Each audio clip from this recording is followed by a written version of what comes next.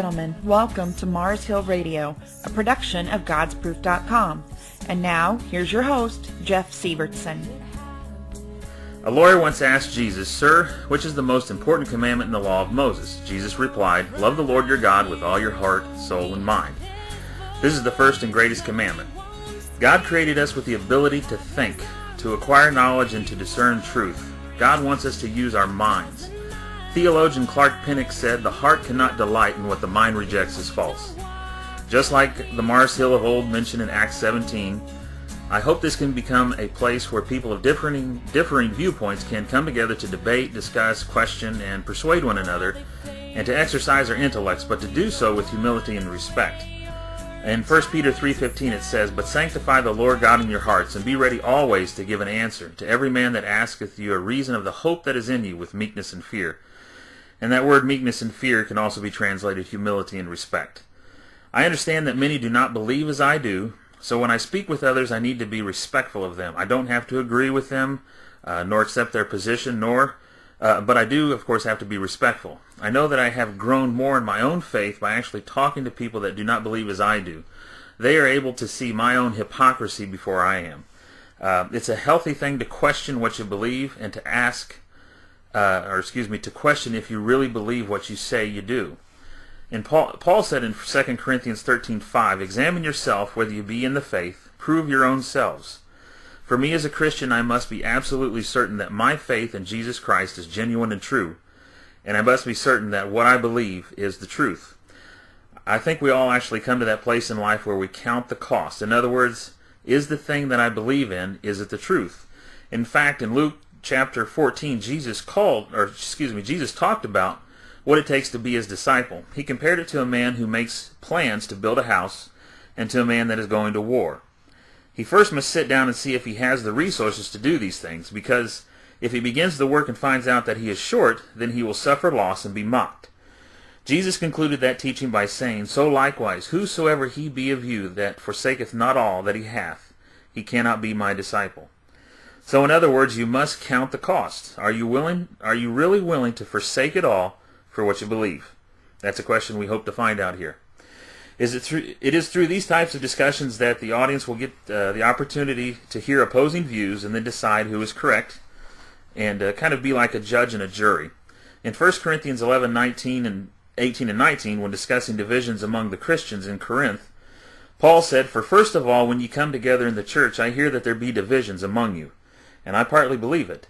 For there must be also heresies among you, that they which are approved may be made manifest among you. Therefore, discussing opposing views is actually a healthy thing to do, not only for us as Christians, but for everyone. Therefore, we are here to talk, to debate, and to see if we believe, or excuse me, and to see if what we believe is the truth. So to get our discussion started, I have asked my guest to cover three main areas. The first is, what do you believe? Tell us about your spiritual journey. Talk about things like what do you do to get to heaven or the afterlife if you believe in such a thing. The second thing is why do you believe? In other words, if someone were to ask you why you believe, what would you tell them? What evidence would you point to point to and say that's why I believe? And the third area is what is your view of Jesus, the Bible, Christians, Christianity, and so forth. And one more thing to add. If neither of us can answer a specific question for, from the other, this does not imply that there is no answer to be given. This is not a game of stump the chump. Uh, to give an answer of, I don't know, but let me find out, is actually a sufficient answer. This will prompt both of us to study further, and that's actually the, one of the points of this whole show is to prompt us to continue to look deeper and look further. So having said that, my guest tonight is Devin Hunter. He was born in Columbus, Indiana to his parents Roger and Marion Hunter. He was raised a Mormon, taught about Jesus Christ and his restored gospel. He was baptized at eight years old at the Church of Jesus Christ of Latter-day Saints in Columbus. As a teen, uh, as a teen, did not fully understand having a relationship with Jesus Christ or His atonement. After maturing to a point, he knew he needed more than his own natural abilities. He needed answers to life's questions that parents couldn't give. He wanted and needed personal revelation from our Father in heaven. I needed to understand, he says, forgiveness and additional strength from that came trust and know and to know more about his Savior and all that he has to offer in our families. Um, So, with having said that, I'm now going to turn it over to Devin Hunter. So, Devin, welcome to the show. Our you. first show, actually. So, Oh, all right. well, um, I guess to start off, um, I I would have to start by saying that uh, I believe Jesus Christ is is my personal Savior. Um, that was not uh, I mean that was taught to me when I was young, but it uh, didn't really ring true until I got uh, got older. Um, I believe that we have a Father in heaven that loves us and, and knows each of us. Um, let's. Uh, I believe in the power of personal prayer and, and scripture study. That those that those opportunities can teach us uh, can teach us a lot about ourselves and help us through all of life's challenges. That our Father in heaven didn't just send us here to struggle and flounder on our own. That He's available for our you know for our needs. Um, I believe there's a plan of salvation that we can can follow, and through our Savior Jesus Christ, that we can return to live with our Father in heaven. Um, and then we probably what we'll do is just uh, as you list these off later on, we'll go through and we'll talk about what is your plan of salvation through the, through the uh, LDS Church, and, and and we'll kind of discuss the differences between the two. Didn't mean to interrupt, go ahead. um, I believe in repentance. That sin is real. That uh, we uh, we all have a need of you know to repent of the things that we do wrong and learn from those things. Um, that uh, without repentance we couldn't go back to live with our Father in heaven and in in heaven or in what Yeah. I would refer to as the celestial kingdom. Yeah. Um, let's see. I'm checking my notes here. Um, I believe that Satan is, is real. I think I mentioned that earlier that he's real and necessary for this process of, of learning, um, you know, learning right from wrong and, and being willing to choose at whatever cost what uh, what is right. I really liked your your introduction. That was the first time I'd I know, read that part of it, but that was Uh, which part of that? Oh, the the, the part about um, uh, learning and and Oh, growing, learning. right, right. Yeah. Um, let's see. Uh, And for our guests out there that are listening, we're still this is new for both of us, so we're still a little stumbling along. But uh, hopefully, as as time progresses, we'll pick up the pace here. I hope So, so forgive us if if we're a little boring at first, but we'll get better.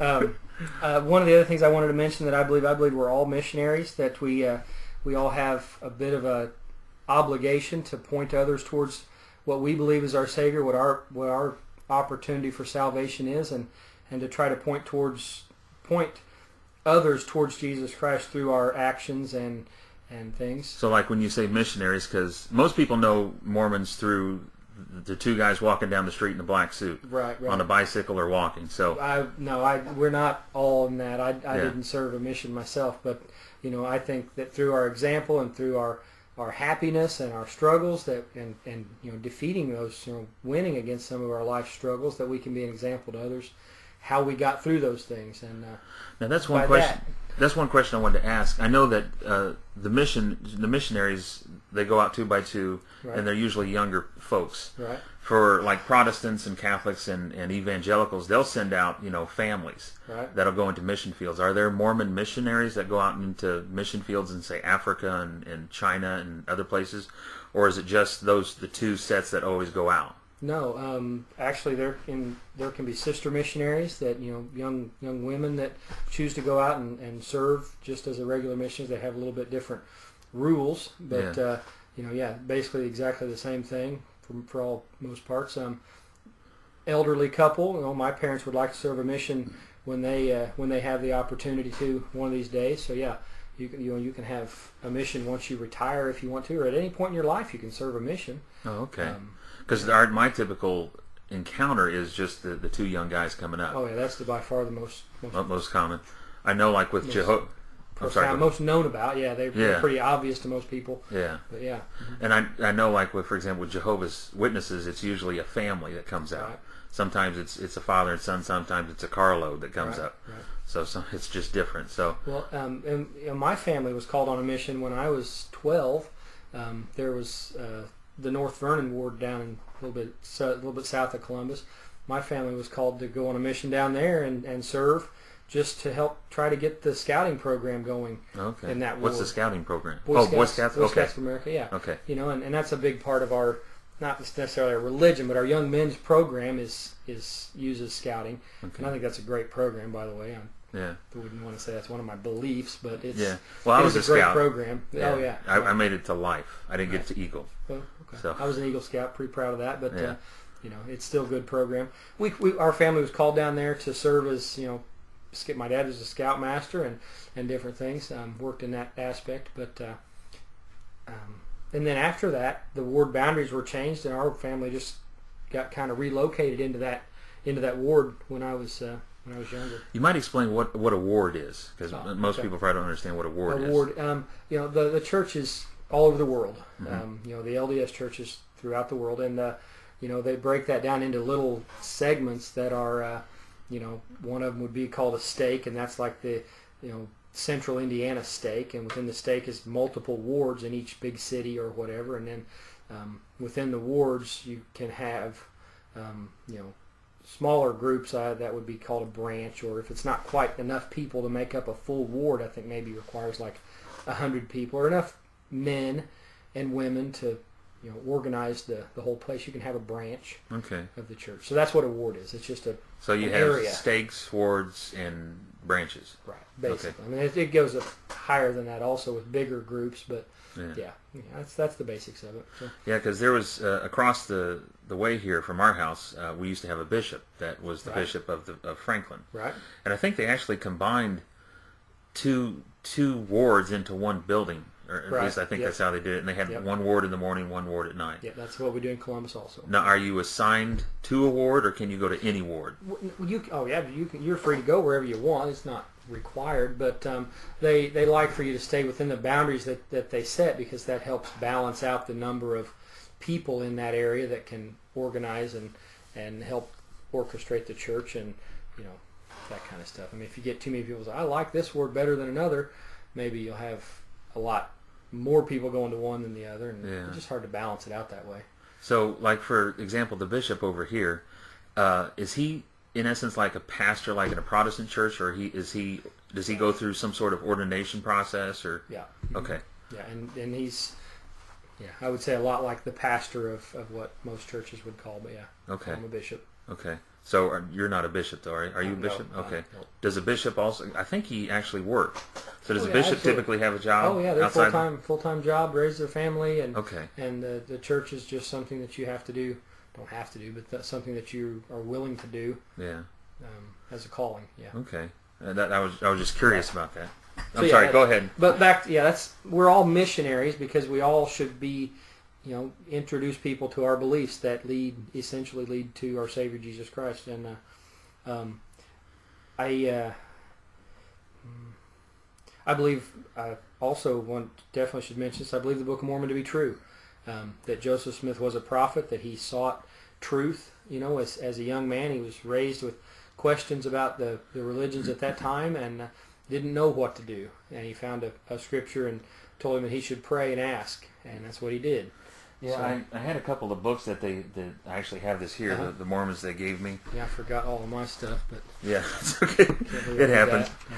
Yeah, I I had read in here where it said that he he prayed and he he was and then he had and this is I guess the one thing I want to try to understand is because I read in here on one hand he saw the prophet Moroni, but then on another thing it says he saw the Father and the Son. Mhm. So what did he see first, next, second, and Well, um, that's that's in the in the beginning of the Book of Mormon. It talks about you know all that all the stuff that he saw there. So if you have any you know interest in that, read the, the beginning of the Book of Mormon, and it uh, you know it's in there. Um, Okay.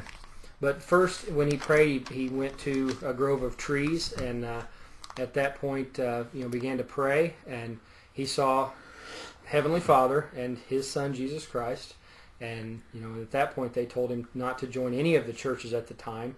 That uh, you know he would be given instructions at, at, at a different time, but at, at, to answer his question at that time, not to join any of the current churches. and this was back I think it said 1820, 23. 1823. I was Yeah, back in 1823. 1823. So from did he say was was that to imply that all churches in all the world or just in his region? Um, Well, I think I would say all churches in all the world because if if there would have been any other answer, then he would have that Gone. would be what he would there. have received. Yeah. So, did was there? I, when I was reading through the Book of Mormon, I didn't see anything or any of the introductory literature. How long had the, according to your belief, how long had the teaching been corrupt? Um, I think um, my understanding of that would be, and I, I am more than capable of being wrong. I hope everybody can understand that. Oh yeah, yeah. I'm, I'm in no way a, a teacher or, um, you know, a scholar in all this. I mean, I, I, I studied a little, you know, moderately for my own needs. Right. But uh, I would say that happened after all of the disciples of, of Jesus Christ were all killed. Um, at that point, the you know his church wasn't led by any of his direct um, the people that he directed to lead the church. They were all killed and hadn't passed that authority down. So you know, from I'd say eighty years after. Um, So, so, like Christ. maybe a generation after. a generation after those disciples were killed off, then at that point they his his doctrine, his complete doctrine, um, wasn't available anymore. So, I think it was John. John was the last one. He he. Right. They tried to boil him in oil. They tried to kill him, and finally they exiled him on the island of Patmos. And he, uh, I think he wrote his the, the book of Revelation around 95 A.D. I'm not absolutely certain, or maybe that was the time of his death. So it was within the first hundred years. So you're saying basically from from the year uh, 100 on up until 1823.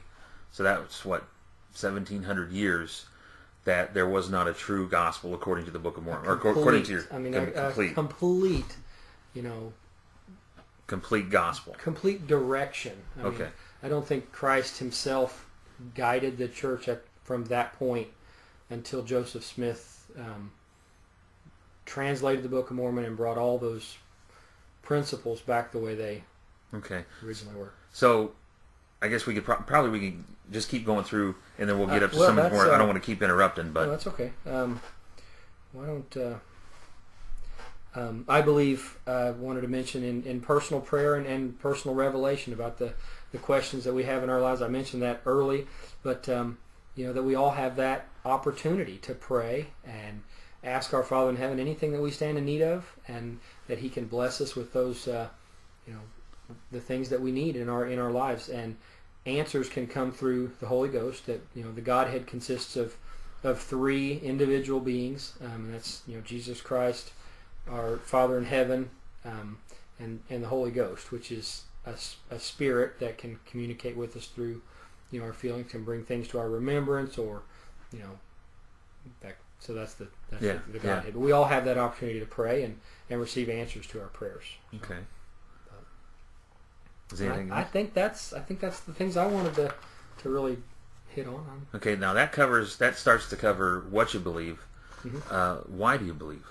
Uh, why do I believe? I would say um, my beliefs all started when I was you know I was raised you know in, in the Mormon religion and as a as a Latter Day Saint, um, and that started my beliefs. But you know when I got a little older, I, I had to start questioning those beliefs, and at that point is where I really gained a testimony of prayer, and uh, you know so I had to pray and, and ask if that stuff was was really what was right for me, and, and at that point it didn't take long to to feel the Spirit, feel the promptings of the Holy Ghost, and say, yeah, this is this is what was true.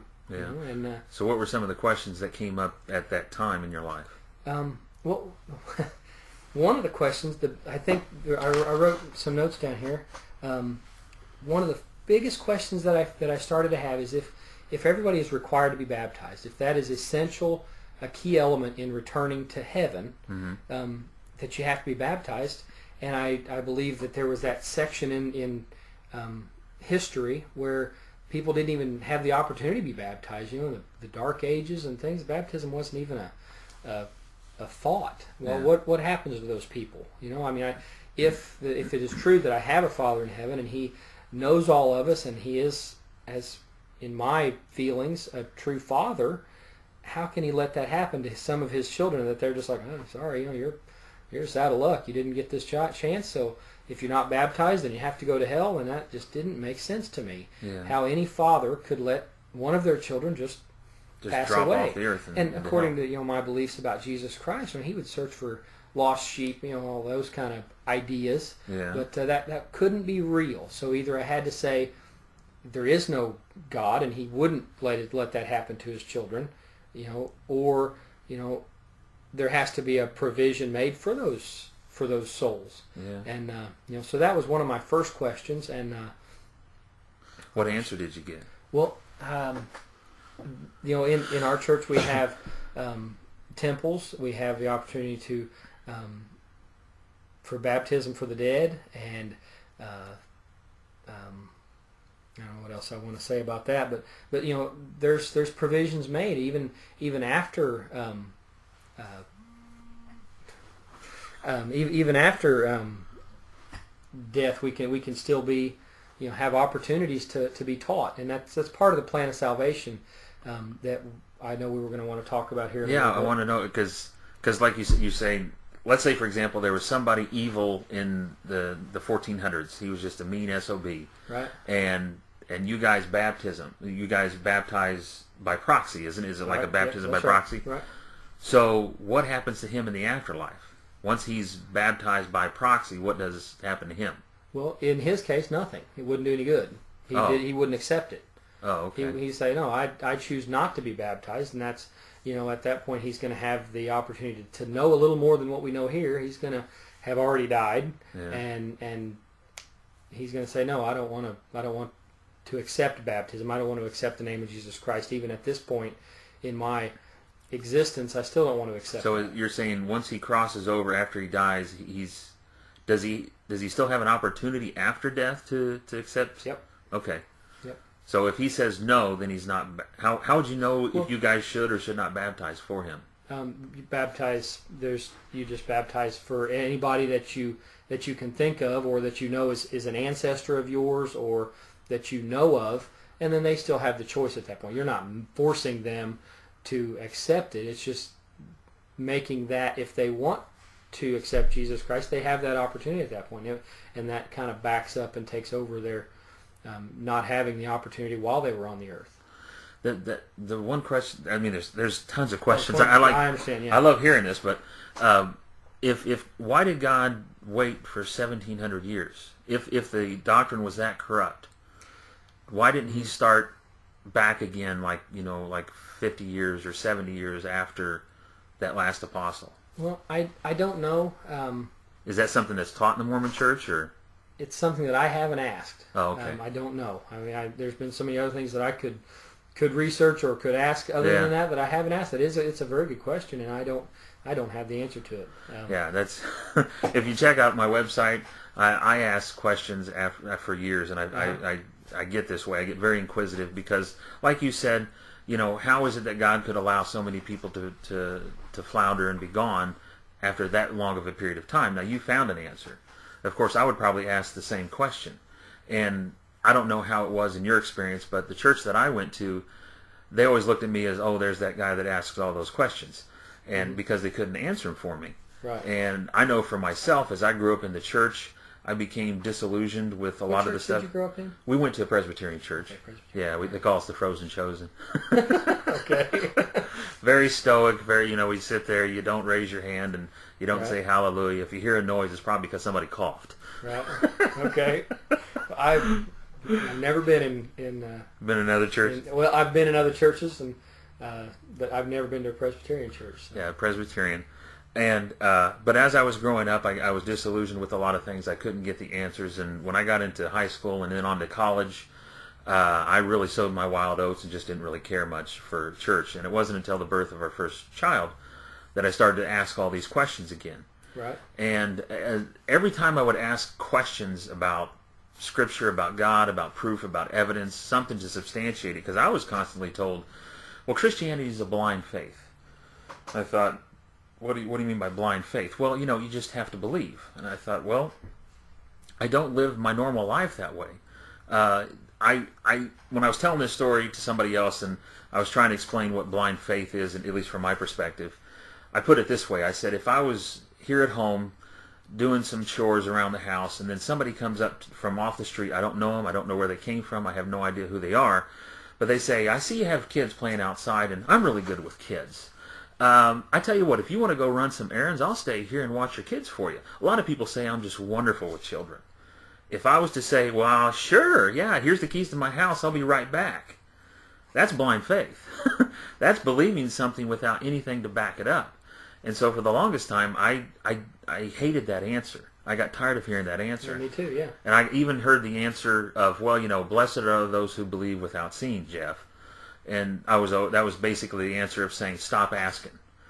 And it wasn't until years later I actually studied that passage. That that's where Thomas was doubting what the apostles had seen. And they had come back and they said, We saw Christ, we saw this, you know, he's resurrected. And he said, Look, until I see the nail prints in his hand and I could thrust my hand into his side, I'm not going to believe you guys. So in other words, he was saying, I This need proof. Unbelievable that I can't. Yeah. I can't participate in. Yeah, he was like, "This is just I, look. I know I, we saw him while he was here. I saw him die on the cross. You guys say he's alive, but I need to personally see it." And then, of course, that's when Jesus steps into the room. He says, "Thomas, here, put your hand here. Put your hand here. Do this, and believe." And then he said, "You have seen, but blessed are those who believe without seeing." And in the context, that whole context, it was kind of funny. That was the scripture that locked me up and prevented me from asking questions. But then when I really examined it, it was saying. yeah, but when I really examined it, and it unlocked me to say, I can ask questions. I can ask for proof. Yep. I can ask for tangible evidence because God does not want me to walk around in unbelief. And of course, like just I read, uh, I think I read it uh, over there in, in Luke. I think it was chapter 14 where Jesus is telling people to count the cost. You know, there's a guy who, if he goes to build maybe I didn't read it. There's if it in, in Luke 14, Christ is talking to a group of people what it takes to be his disciple, and he gives two examples. He said there's this one man who goes to build a house. You know what man doesn't first sit down to make sure he has all the material, he has all the money, he has all the funds before he starts building? Because if he doesn't, then he'll look like a fool. Or what man first, before he goes to battle, doesn't check to make sure he has enough troops? Because if he has 10,000, but he's going to meet somebody that say has 20,000, then he's going to have to end up asking for terms of peace. He said, and then he goes on to say that if you cannot forsake all things, then you cannot be my disciple indeed. And my question always to the Lord was, when I felt him pulling on me, was, can I really forsake everything for you? You know, how can I trust that you're the God of the Bible? Because I know there's many religions out there. Yeah. There's many different ones out there. So how Versions can of each one. Yeah. yeah, there's different versions of each one. And they have similarities, but there are some vast differences with respect to how do you get to heaven. And that was my biggest question. And I, it took me several years of examining, and now I'm to the point where I feel that I can stake my entire entire eternal existence on Christ. That's where I stand today. It took me a long time to get there. Some people just have a simple faith and they can believe, and it's like my wife. Uh, she says it says that I believe it. She says she needs some proof, but not as much as I need proof. Uh, and I even rem- remember reading the book by Lee Strobel. Uh, I think it was called The Case for Faith or The Case for Christ. And he went through and he examined all these different areas because he was an atheist. He just hated religion, despised it, and all that stuff. So he began to examine the scriptures through experts and asking them questions because he was a professional journalist. And it took him a long time until he finally received Jesus Christ as his Lord and Savior. It was the evidence that did it for him. But then when his daughter saw the change in his life, seeing his changed life she- prompted her to come to Christ. So He was a missionary. yeah, he was in a sense he became his a missionary to his own family, and so um, that's one of the things that I, whenever I examined other uh, religions, was to constantly dig in and look to see what do they look to with respect to proof to, to prove these things. Right. So, uh, other than what you've answered before, what what are some other things that are you're, you're getting ready to say something? I'm Well, sorry. No, no, that's okay. You, you were doing good. I I think everybody is different in that. Some people Yeah. need more proof than others. Yeah. And for me, I have sufficient proof, and we can talk about what that is. But where I don't have proof, I've got enough proof that makes me firm in that my the feelings that I get from the you know through the Holy Ghost and through prayer and through the ideas that come to my mind when I read the scriptures, Bible and Book of Mormon, not just that I'm Mormon. I only believe in the Book of Mormon because I, I mean, the Bible is is just as as important Yeah, as let's the Book talk of Mormon ever when was. you're done. Let's talk about that. yeah. Right. But when I, as far as when it comes to needing proof, um, you know, the feelings that I have are proof enough for me, and I think, you know, that's not always the case with everybody. We're all different like that. So. Yeah, there was a card that uh, the elders had given to me, and when I for the folks here at home, uh, elders are referring to the missionaries. They're they're known as elders, correct? Right, Okay. yep. The elders gave me a card here, and I've heard this before because you know we were talking about other books, because it's for for Mormons. It's not just the Book of Mormon. It's it's the King James Bible, the Book of Mormon. I think you have Pearl of Great Price, And Doctrine and Covenants, and the Journal of Discourses is another one, isn't it? I Is that considered a holy book, or is that just like I think it's comments? just I think it's just comments and, and things like that. Yeah. Okay. Well, uh, there's a little postcard they gave me. It's called the Articles of Faith, and I've heard this phrase before, and I wanted to ask you about it. This is number eight. It says, "We believe in the Bible to be the Word of God, as far as it is translated correctly. We also believe the Book of Mormon to be the Word of God." So that phrase, "as far as it is translated correctly," what does that mean when when you hear that? Well, I that means that I think you and I talked previously about this. That you know, throughout all the generations of, um, you know, that that the Bible was was used and and translated so many times, and I think at, at certain times, um, and I don't have examples of it, but it makes sense to me that you know the scriptures, a few words could have just been changed in in translation that means something totally different, and and I would say one example of that is you know in the Ten Commandments, thou shalt not kill, and in our understanding, you know, killing you can kill a plant, you can kill a, a bird, you can kill a lot of you can kill a person, and I think in an original translation that would have meant thou shalt not murder, or take the, take life innocent take innocent life, and you know that that isn't a teaching that I would you know say I've I've um, but that's my understanding of it. You know that those kind of things can happen, and as long as it's translated accurately, then yeah, the Book of Mormon, or I mean, the the Bible is, you know, perfectly true, and it is it's absolutely correct, and that's the words we should live by by our, you know, through our Savior and and, and our Father in heaven both. But it's got to be right. There was a there was a group of scholars that it was referred to as the Jesus Seminar, and they sat down and they went through all the passages that re- referred to Christ speaking, and they would use these various beads and they would say the likelihood of Jesus saying this, the likelihood of him not saying this, or that he never said it at all. And they actually apparently there's a color coded Bible that you can read and you can you know there's margins that say yeah he did no he didn't. Is there uh, a King James Bible that uh, that is published by the Book of Mormons that has highlighted passages that say this is properly translated, this is not properly translated, this was lost, this is anything like that? There there are some in in the in the footnotes of the King James version of the Bible. There are some you know word differences that that you know they'll highlight. They'll say actually this meant a slightly different version of the word that might make. To me, doesn't usually make any difference in my understanding, but I think to people that really studied a lot further in depth, it might make a difference if they know more about, you know, old languages and things like that. But yeah, for the most part, I think the King James. Well, I know the King James version is is the version that we, um, I don't know, accept. Yeah. Um, Well, when you when you guys have uh, when your bishop quotes from your scriptures, uh, or when he uh, exhorts you or, or is expounding upon the word, where oftentimes do they go?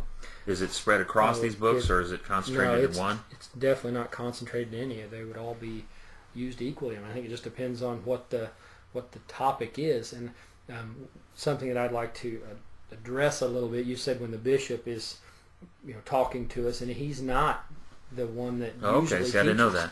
No, in, in a typical sacrament meeting, that what we call a sacrament where the whole congregation is gathered, um, the the bishop and he will have two counselors that you know help him do whatever he's needing done.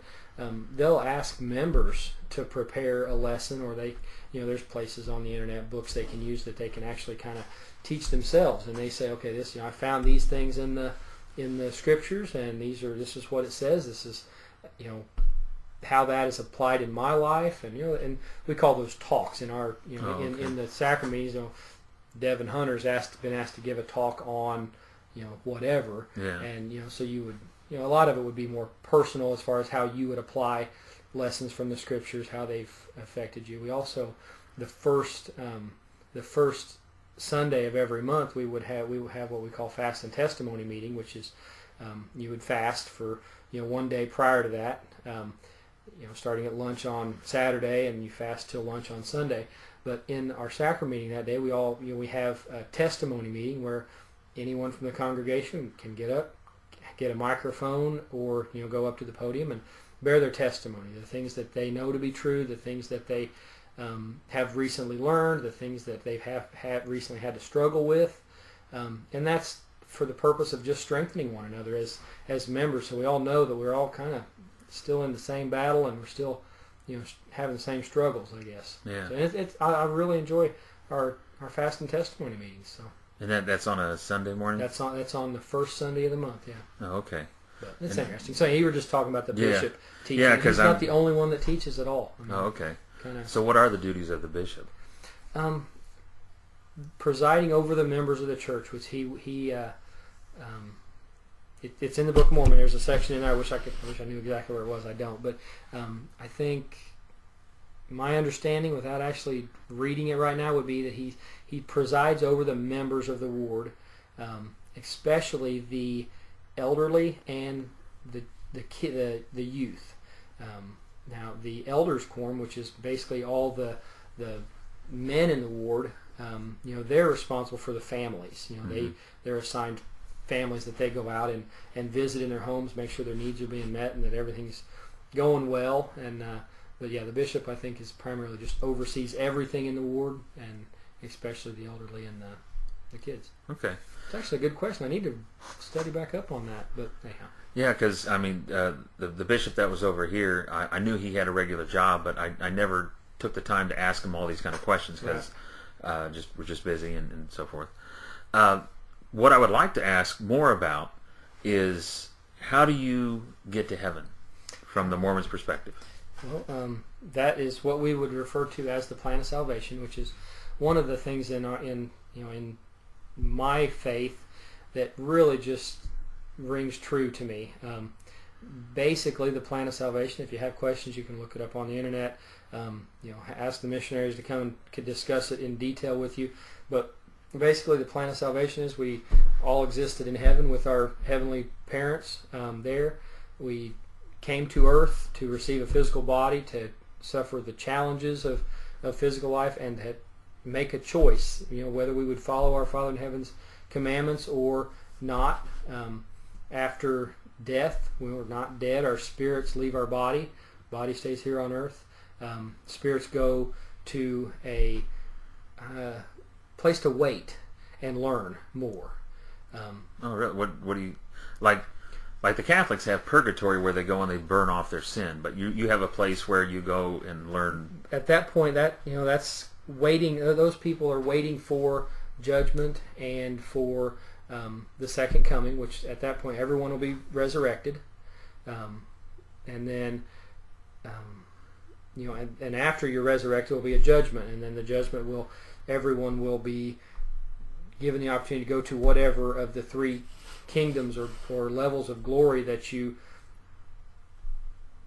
I don't know, I should say belong in or um, have achieved. Okay, and the highest would be the celestial kingdom, and then the telestial kingdom, and the terrestrial kingdom. Now, the thing about that that I always really just made so much sense to me is I, you know, going back to my original argument is what would how would our Father in heaven just dismiss some of us? And I would I would the reason that this three kingdoms after um, after we're resurrected make, makes so much sense is that as a father, I could never, under any circumstances, tell any of my kids, no matter what their behavior was, that I'm, I'm done with you. I don't, I, you can't be around me anymore.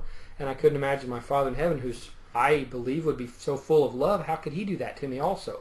Yeah. You know, so He gives us opportunities, just like uh, I think is understandable. You, know, you give your kids opportunities to do what you say is right and what you want for them to do, but you can't make them do that. You've got to give them a choice. I think choice is essential in this plan of salvation. It's what we call free agency. hmm Um, I know I'm not doing a very good job explaining this. No, you're doing fine. Anyhow, um, you know, at, at no point in very few circumstances is anyone just damned. you know, you're just not you're not allowed, you know, to have any interaction with your father ever again.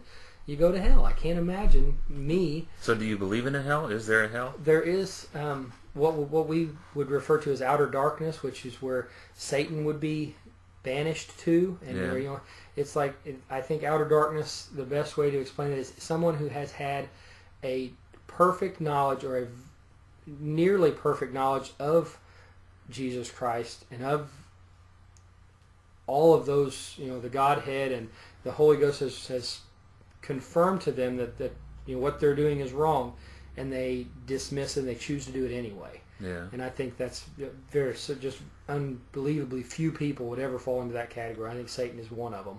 So, like for example, in the in the Bible, uh, when it says uh, when it re- makes reference to hell, it makes reference to those that uh, do not receive the Lord Jesus Christ as their Lord and Savior go th- to that place.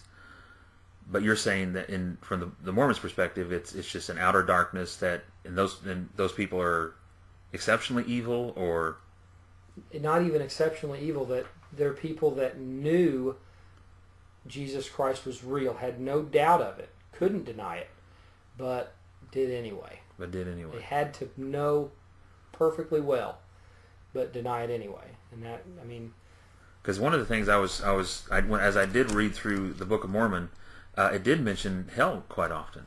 right? Is that this? Is, so is that the same terminology as you're using with respect to outer darkness? Um, yeah, I think so. Okay, so that was one of the things I found interesting that he made reference to that, and he made.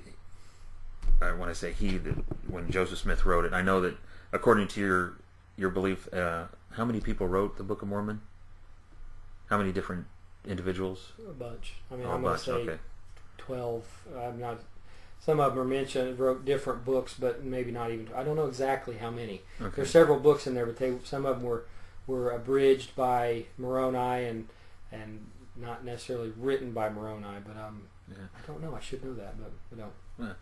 Um, I lost my thought train of thought. We're talking about hell and yeah, Yeah, about hell and so forth. And uh, for the folks at home, um, I understand you have the three heavens.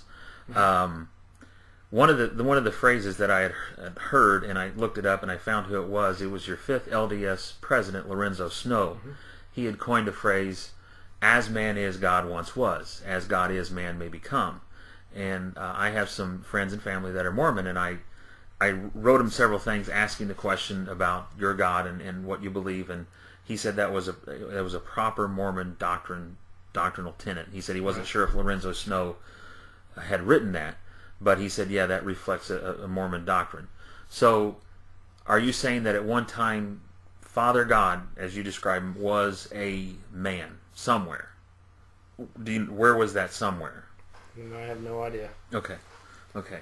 So Somewhere within the cosmos, he was. I mean, he, he could grow and and and become a god of his own his own planets and yeah. okay, create his own family from that point on. I, in our church, the, one of the key elements in our in our church is family, yeah, and uh, you know if, if I if I translate that back into um, you know my Father in heaven is someone that knows me and and who I should follow and who um, you know is is willing to provide and help me at any any point.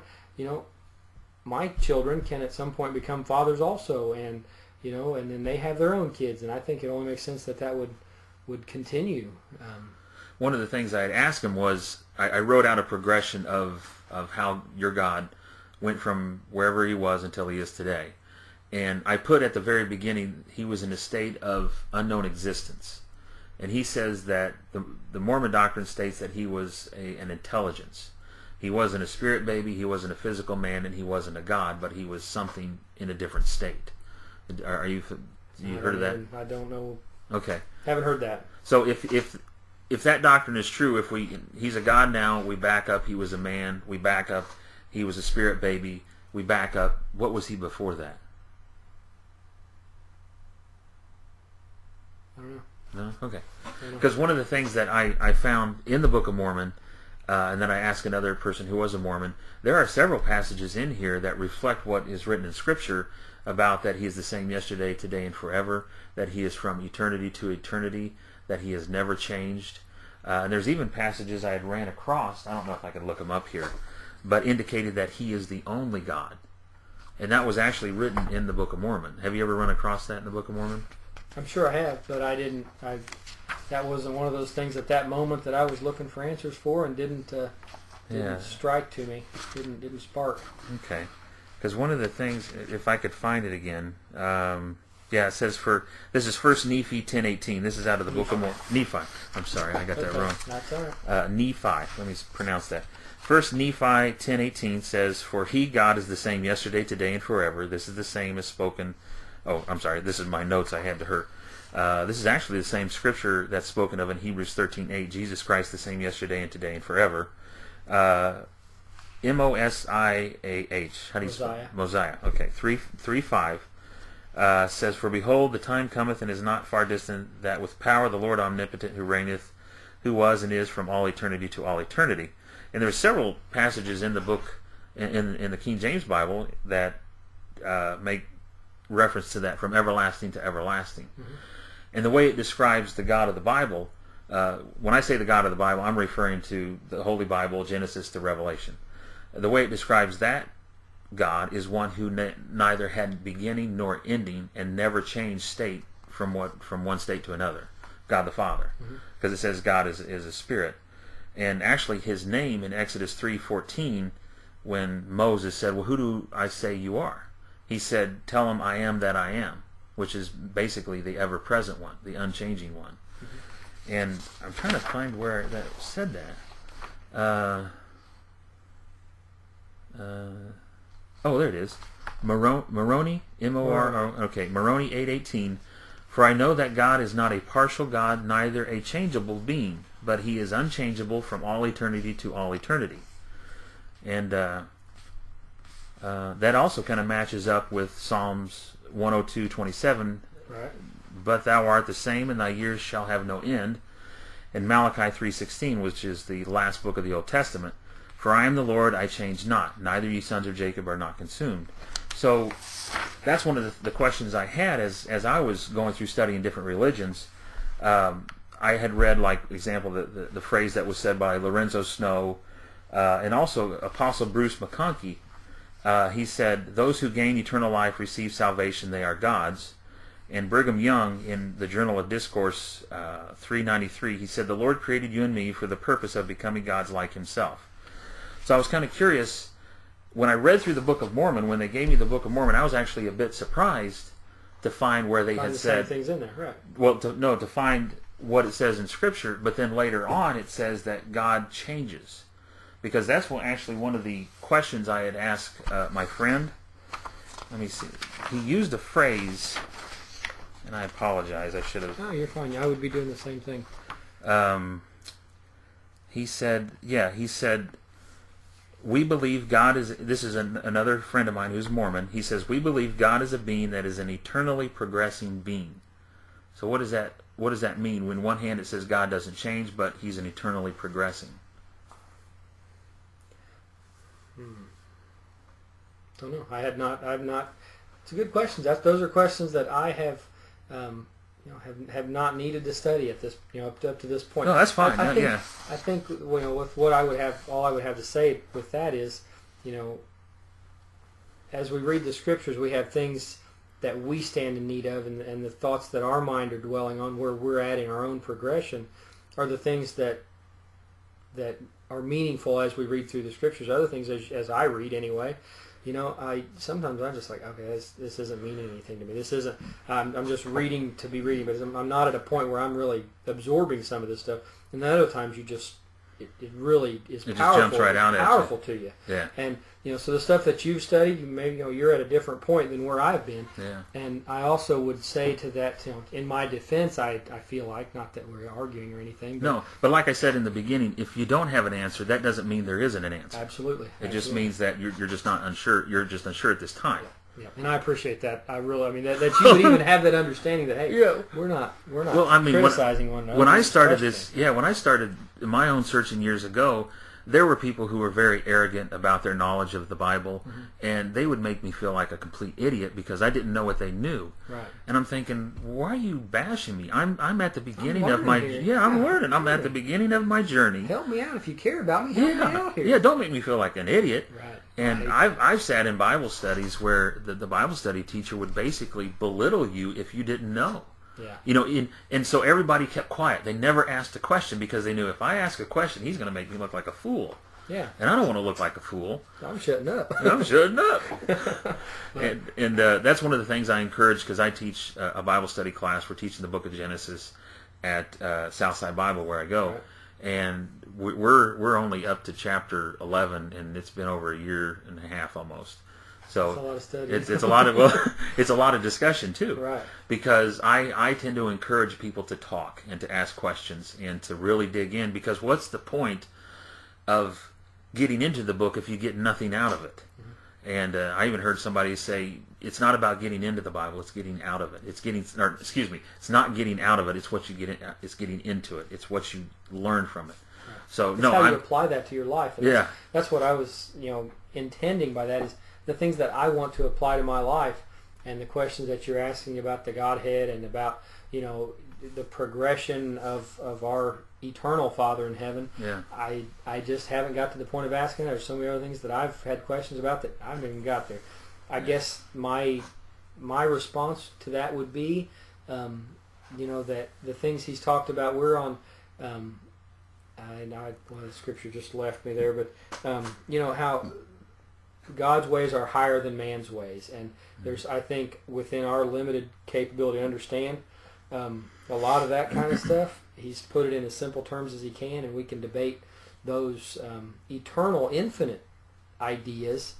And I just don't even think that I'm capable of understanding a lot of that stuff. yeah. You know, I mean, I, I wish I was, but at this point, I'm just not, and I don't know that that a lot of people are. I mean, it's it's a good stumbling block yeah. um, if if that's what we're looking for. I know I know we're not, but if you're looking for a reason to just stumble, that's just go for the biggest, most complex theory you can think of, and and you can definitely stumble on those things. But there's so many other simple things that that you know we could just really work on and, and apply those things to our lives. Well, I know for I can say from my perspective of studying Scripture, uh, and I can't remember the passage of Scripture, but the essence of what the passage says that if you study five pounds, you'll get twenty. In, in other words, if you have a true heart's desire to know the Scriptures, the Lord will give you understanding and insight. Right. Uh, but if you have no desire to know the Word of God at all, He'll actually put a veil in front of your eyes so you don't even understand it. Uh, and so, as I began to seek Wait a second, that sounds like a lot. I've I've experienced that sometimes. sometimes I was like, I don't understand this at all. But yeah, mean anything to me. He will Okay. he will darken the mind of people who, who have no desire whatsoever to know the Word of God. And I get and this is one of the things I get into when talking with other folks. They say, "Well, your Bible has contradictions everywhere." I'll say, "Well, point out one to me." Well, you know, there was that one king. Uh, it said that he he would go be taken into the land of captivity, but then another scripture says that he wouldn't even see it. So how can that be true? I said, "Well, you got to find the one scripture that says his eyes were poked out." and then he was taken into captivity. They're like, well, you know, there's other contradictions. Well, like what? Well, who was Cain's wife? Well, according to Scripture, it says that Adam had many sons and daughters. Well, uh, Cain, you know, married his sister. You know, today we think, oh, that's gross, but back then, who's gonna? Didn't have an option. he didn't have an option, and and who's gonna arrest him? right. So, and, and, and, and there's another place where the scripture says that the word is a, a discerner of the thoughts and intents of the heart. And I didn't really quite understand that until I studied scripture to where you'll, there, scripture is written in such a manner that, that ideas and concepts are kind of separated and spread out. And so to get a clear picture, you have to, have it study, all, you have to study the whole thing. But if you're somebody who has no desire to know the Word of God, it's spread out in such a manner that if you read it, you'll find apparent contradictions. And that's one of the interesting things about, like when Jesus say, well, who do people say that I am? And they were throwing out all kinds of things. Well, people say this, people say this. Well, the funny thing is, you know, the Bible says that he was to be a Nazarene, but he was to be born in Bethlehem, but he would come out of Egypt. It's like, how does that all fit together? Well, it doesn't come together until you read the story and you understand that, you know, he was born in Bethlehem, because of a, a taxation that was put upon him. He came out of Egypt because they fled to Egypt out of fear of what Herod was going to do, and then when they came back, they settled in Nazareth.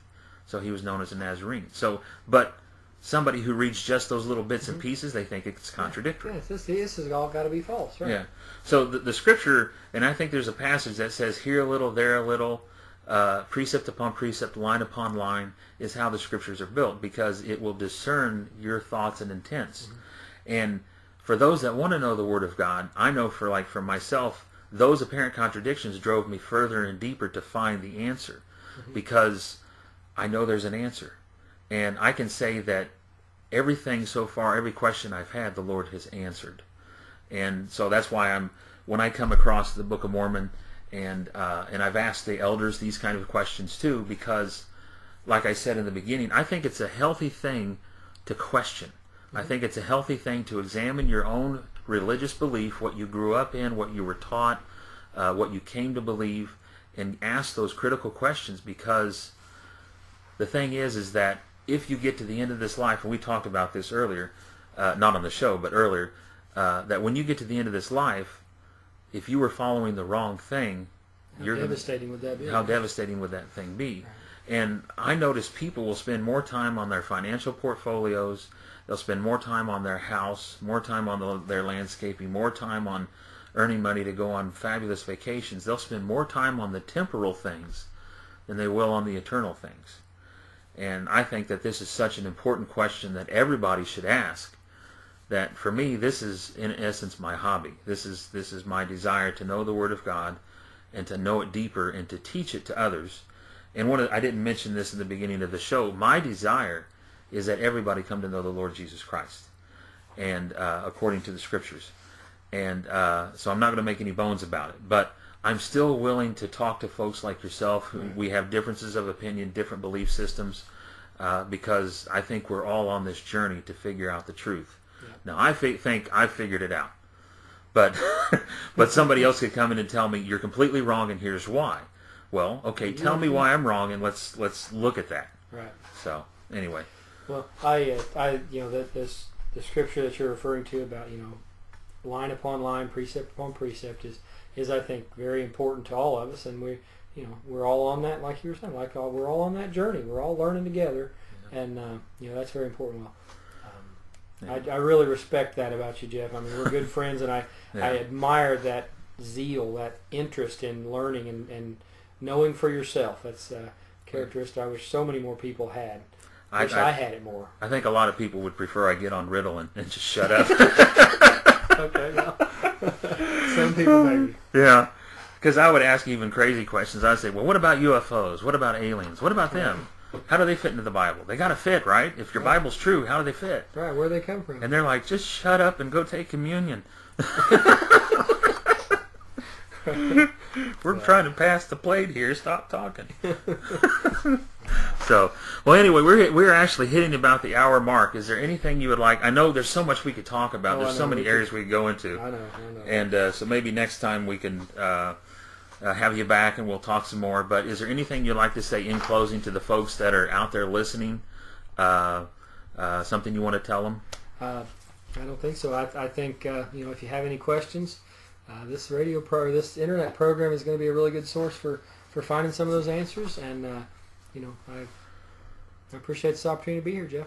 Well, I'm I'm excited that you came, and uh, it just so happened I, I, I bumped into you one day, and I said, "Hey, would you like to listen or be a participant?" And you said both. So, and uh, I I've always wanted to ha- hear a radio program like this, but I haven't. You can always hear a program of one particular side, two people Right. talking about their side, and over here two people talking about their side, but never those two coming together and talking together. So, Be so it politics or religion or whatever, you can always find two people to agree, but it's really hard to find two people that are arguing civil, civil, civilly. civilly. Yeah. yeah, and that's and that is so difficult to do. And I'll admit, early in my walk, uh, I I felt like I needed to, to beat it over people's head that I was right and you need to listen to me because I'm right. Uh, but now I'm to the point where I still think I'm right. but uh, I, I, I feel the need to, to follow as Christ had done. Right. One of the things I noticed when Christ would teach, if somebody didn't believe what he said and they moved on, he didn't run after him and tackle them. Right. He didn't run after him, jump and say, "Hold on a second, let me try a different thing Yeah. here." Well, I went, when I was in in college, and uh, you know there was a guy that was in in all the hallways, and he'd be standing there wanting to pass back, pass out Bibles, and always wanting to give you a hug and telling you, and walking down the hall in the loudest voice, "Oh, Jesus loves you," and praise the Lord, and all those things. And he was so annoying that nobody would listen to him. Nobody even wanted to be around him because he was so obnoxious about it. Yeah. And uh, you know, I don't remember any scriptures talking about Jesus acting like that.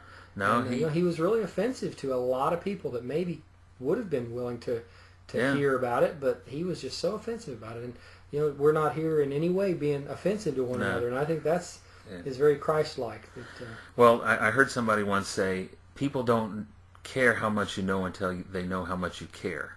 right? uh, one of the the, the ministry uh, uh, Salvation Army when they had begun. I know people you know have issues with them now, but when they had started out, they had a motto. It was they said soup, soap, and salvation in that order.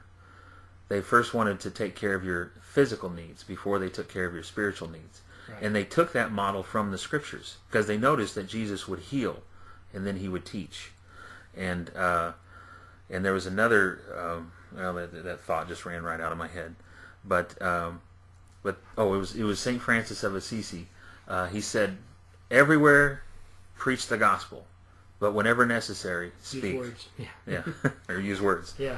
so yeah so Well, that's he- what I was meaning earlier about we're all missionaries, and a lot of that can just simply be by our behavior. I mean, Yeah. my wife, when when we met, she was a security guard, and she knew members of the church that as they come through the guard area, they just they were just nice. They were just you know, what- and then you know she'd see them in their in the parking lot interacting with their families. She's like, look at this person. What is different about them?